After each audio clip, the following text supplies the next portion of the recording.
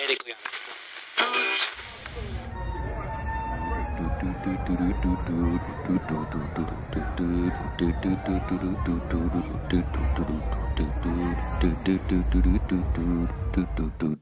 Stories in Berlin, Season 3. Hello everyone and welcome to Stories in Berlin, Season 3. I am Christina and in this season I read for you chapter by chapter, one chapter per episode, my novel The Berliners, a collection of semi-fictional stories about the life of Berliners during the corona pandemic. All stories take place on the same night in late November 2020 in a lockdown Berlin. Every chapter tells the story of a different Berliner. You shall find season 3 on iTunes, Google Play, SoundCloud, YouTube, and Podbean. If you would like to learn more about this podcast and the Story for Food project with which it is connected, you may visit storiesin.berlin and storyforfood.com. On social media, you may find us at Stories in Berlin and at Story for Food. If you would like to support this podcast and the Story for Food project, please consider a small donation via PayPal at paypal.me slash storyforfood. Thank you all for listening. Mike, the stranger within. Mike had worked hard to arrive at a place where he was content with himself. Just before Corona hit Berlin, Mike had a major gig in Barcelona and he was back anticipating his upcoming event at Berghain, Berlin's legendary club. It had taken him years to establish himself as one of the city's most promising DJs, and after a month in rehab and with the support of his long-term girlfriend Rachel, he was proud to have put his substance addiction under control, or at least so he believed. He and Rachel were planning to move together, and for the first time ever at 42, he was considering being a father. Life seemed to be on the upswing for Mike. And then Corona came in uninvited, and Mike's life suddenly plunged into a downward spiral. In the beginning, it was impossible for him to imagine a world without parting, to imagine a weekend without a gig. On top of that, his income cut short and his days became unbearably long.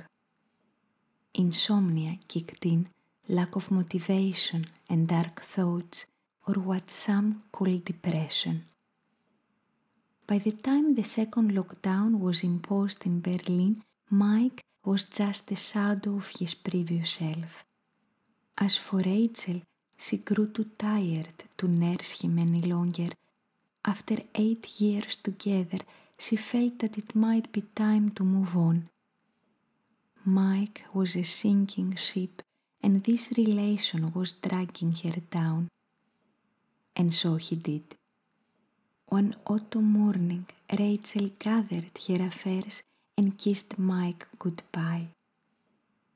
See you around, she said and disappeared from his life.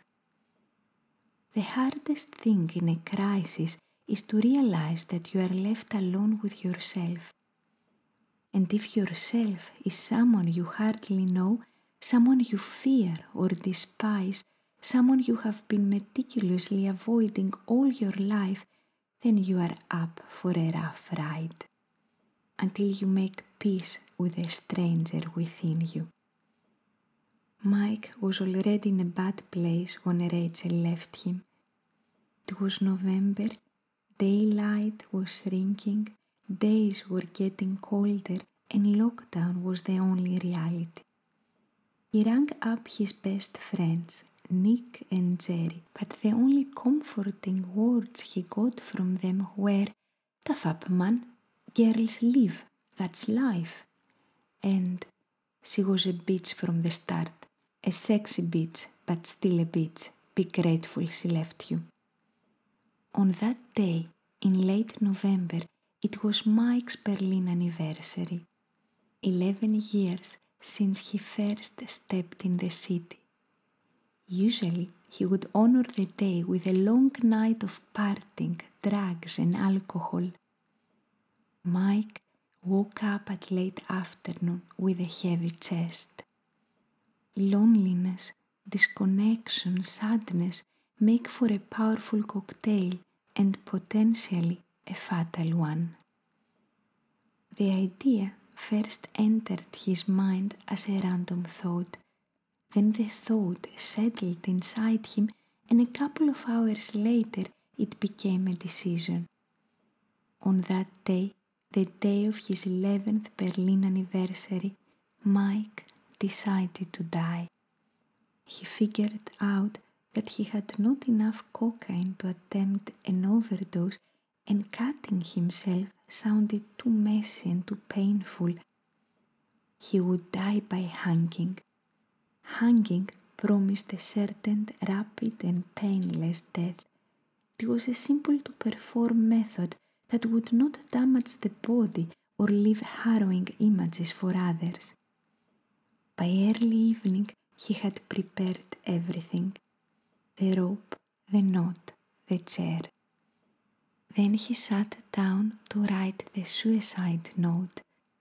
Strangely enough, he couldn't think of someone to address it. He certainly didn't want to address it to Rachel. It would seem as if he was blaming her for the tragic farce that had become his life. And that would give her leaving him excessive importance. He considered addressing the note to his best mates, Nick and Jerry, but suddenly he felt no particular emotional bond with them either. The endless hours of parting they had shared seemed to him shallow and insignificant now. Mike's final words would be for Berlin. He scribbled in a piece of paper for all the promises you didn't deliver. But certainly it was not Berlin's fault that the whole planet was hit by the coronavirus, or that Mike's line of work was wiped away by the pandemic, or that his girlfriend had left him. Yet, at that moment, Berlin was the only thing Mike could feel emotionally strong about. Berlin was his safe zone, his place of magic, where he could be an active creator of his destiny. Berlin was the love of his life.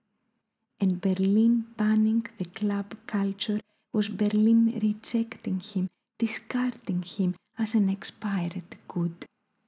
The very moment he believed he had made it the city of his dreams and the world for what matters, was throwing Mike away.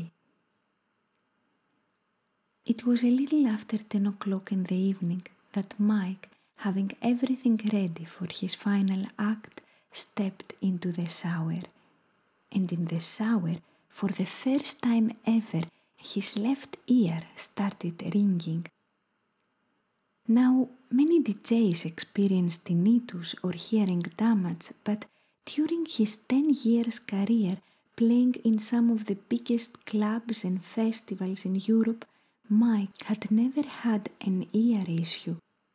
The sound of the water running down his body suddenly became a high pitched whistling noise. He closed the tap. The sound was still there, a pulsating whistling as if he could hear his own heartbeat. Mike came out of the shower and quickly dressed. Water was still dripping down his hair when he opened the door and ran down the stairs of the building barefoot. He kept his left palm on his left ear all the time and walked up and down the pavement almost unconsciously. After five minutes or so, he started trembling from cold and the penetrating cold brought him back to reality. It was then that Mike came to realize his actual situation. He was wet and barefoot, experiencing a severe tinnitus attack, and on top he had locked himself out of home. All of a sudden, he could think of a thousand new reasons to die. But also, at the same time, he would think of a thousand reasons to live. In a flash, all his Berlin days passed by his eyes. Eleven years, and he could still remember his very first day in Berlin, in every detail the streets he walked that day, the clothes he wore, the two big suitcases, and the guitar he had to drag with him all around the city.